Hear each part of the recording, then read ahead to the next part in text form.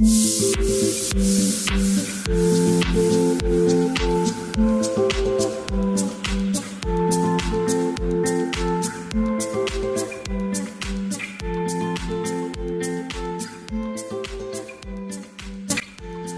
dënuar me 15 vjetë burg, pasi la diçka të ndaluar për para gjamis.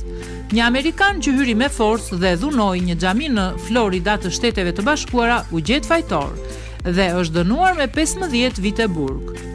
Michael u shpal fajtor për një ngjarje të ndodhur në janar të vitit 2016, kur kamerat e sigurisë e filmuan, duke thyer xhamat dhe dritaret e gjamis me një kam në dorë për para se a i të largohoj kalon në derën kryesore të gjamis një bërzol deri.